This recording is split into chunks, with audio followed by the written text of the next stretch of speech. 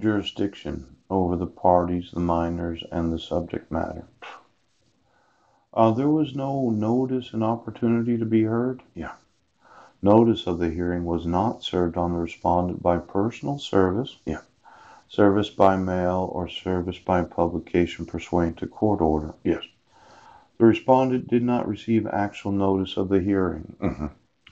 The respondent did not receive actual notice of the hearing in 2011. Oh. Hmm.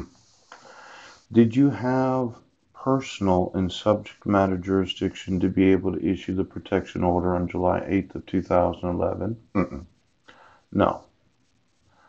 The stipulation order said subject matter jurisdiction is regulate. Yes. Personal jurisdiction is obey. Yes.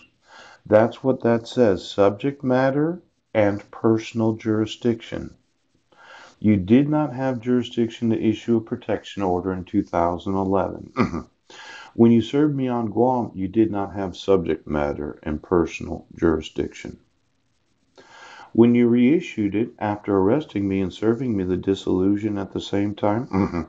you did not have personal and subject matter jurisdiction. I was uh, on probation, Mhm. unsupervised, Yes.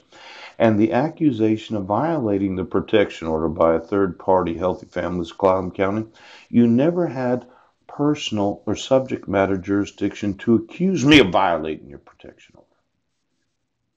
Now, Mhm. Brent, reissuing the protection order on June 15th of 2012, Yes. did you have subject matter and personal jurisdiction? No. Mm-mm. Now, the stipulation order was issued on November 29th of 2011. Mhm. When did you get subject matter jurisdiction to regulate Yes. the contact between myself as Mr. Budnek Yes. And his wife and children? Yes. When you got the stipulation and order, Mhm. when did you have the availability of violating my right to qualify for the expungement of my criminal record? You never did. Mm-mm. See, once my record was expunged, Yes. you never had subject matter and personal jurisdiction to issue a protection order. Now, all of the protection order, no contact order, restraint provisions of diversion was in the jurisdiction of Guam. You, as a court, have never had subject matter and personal jurisdiction.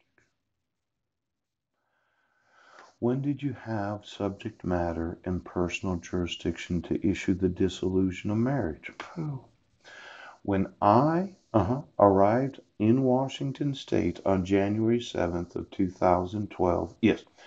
you had subject matter jurisdiction to regulate the contact between Mr. Budnek, Mhm. his wife, and children. when did you have personal jurisdiction? Yes. To issue any court order other than a no contact order? Mm. January 7th of 2011. The Superior Court of Guam ordered me to obey Washington State orders. Yes. These orders require subject matter jurisdiction and personal jurisdiction. Yes. You, as a court,